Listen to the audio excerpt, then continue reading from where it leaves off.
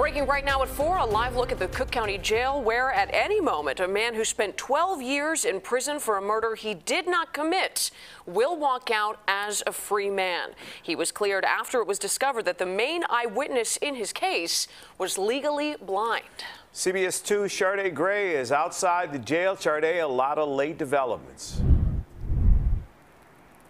Yeah, that's right, Jim and Marie. We're waiting for 30-year-old Darien Darren Harris to walk out any moment now, right outside of the Cook County Jail. Earlier today, it was essentially a celebration inside of the Leighton Criminal Courthouse as his family found out that the judge exonerated him. Just last week, CBS 2 investigator Megan Hickey sat down exclusively with Harris after his conviction was vacated. At the time, prosecutors were still planning to retry him, but today they abandoned abandoned that plan. Before she made her ruling, he walked in with a smile on his face and waved to his family.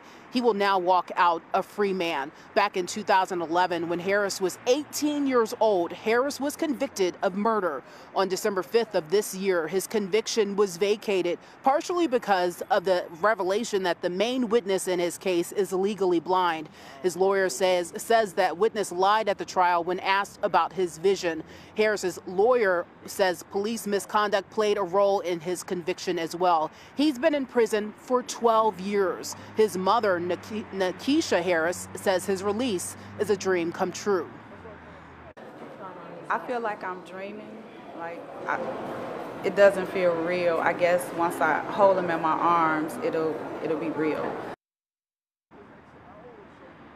Now, as we mentioned before, any moment now he can be walking outside of the Cook County Jail. Speaking with his wife, she says that he is expected to be expected to be released anytime soon. And we do know that Harris's attorney says that his plan that he he does plan to become a lawyer so he can help others who are in the same situation as he was.